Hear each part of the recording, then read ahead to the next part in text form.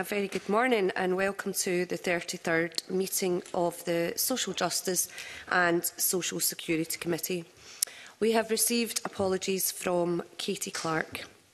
Our first item of business for today is a decision to take agenda item 2 in private. Are we all agreed? Thank you. So that concludes our public business for today and we will now move into private to consider the remaining items on the agenda. Thank you.